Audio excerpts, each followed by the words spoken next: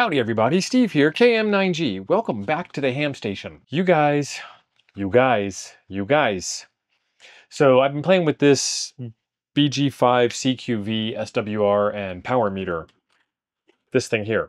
And I've got it all set up again for another RFI test because the way I tested was fine. It just didn't test something that you guys didn't like. I totally get that. I think you were on the right track when you wanted me to plug the Tiny SA directly into the CQV meter to see if it was squirting RF interference through the SO239 port on the back into the radio. And so let's do that. So here is the test setup. I've got the Tiny SA, I've got the meter here, I've got the dummy load plugged into the back of the meter and all cinched down and tight.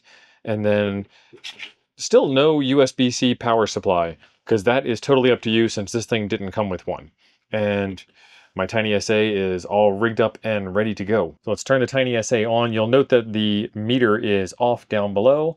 We've got this thing running a span of 1 to 60. I'm going to do a display, draw line, and let's do minus 60 dBm because that's what we did last time. And again, this isn't a pass or fail line. This is just a line. And let me check something real quick.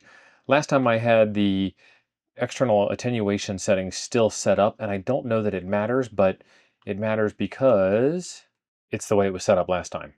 Yeah, so that brings the noise level up to where we were the last time, which is just fine. So all that is doing is bringing up the levels to account for the external attenuator. So let's go ahead and turn this thing on.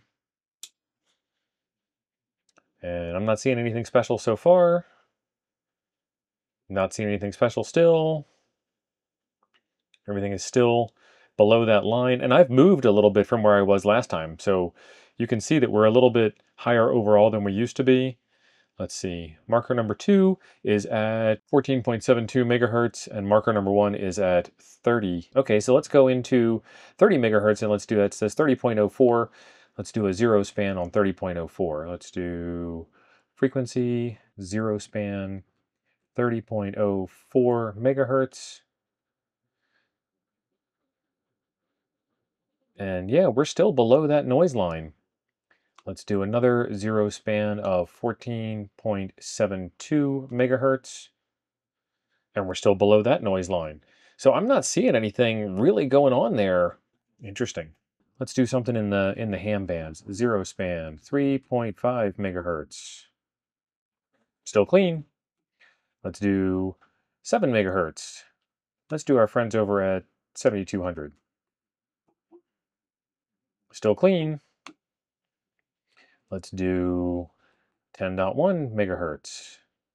Still clean. Let's do 24 megahertz. Still clean. So there you go. Let's let's just for grins, let's do 14 1400 megahertz and let's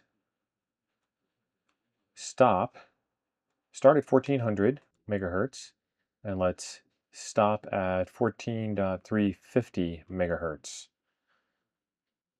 Yeah, we're still clean. And then just for reference, let's remove that external attenuator, get it back to the way it should have been. And now we've got no external attenuation and the true noise floor is below 100. So some of you eagle eyes were saying minus, minus 65 dB, minus 70 dB, that's an S9 signal. Well, you missed the external gain part. So let's keep going on plugging in the other meter because some of you guys were curious about the MFJ meter and whether it squirted RF out its antenna port, out its transmitter port back at the radio. So let's take a look at that exact same setup on the other meter. All right, we've got the Tiny SA plugged into the transmitter port. We've got the dummy load plugged into the antenna port. We are set for HF mode, and this is the MFJ meter. So let's get us a baseline here. We'll do the same thing. This time we won't do the external attenuation. Let's do frequency start of 1 megahertz, frequency stop of 60 megahertz. And we're still at minus 100. So we'll do a minus 100 line just for grins. Display, draw line, minus 100. 100, not 100. Okay, and there is our line. So we've got a couple of things going on here. This guy requires an external power supply. So I'm going to turn on my switching power supply and we'll see that that makes noise or doesn't make any noise. All right, now the switching power supply is on and we're still below the blue line. Let's turn the meter on. There we go. Now the meter's on and I still see no real difference. We're seeing that spike at 16, but it's below the blue line and we're seeing another Number two moves around a little bit, but it, you know 1472. So let's do some of the same stuff that we did before. Let's do frequency. We'll start at 14 megahertz and we will stop at 14.350 megahertz. Still below the line. We'll do some zero span stuff, 3.5 megahertz. Okay. 7.2 megahertz.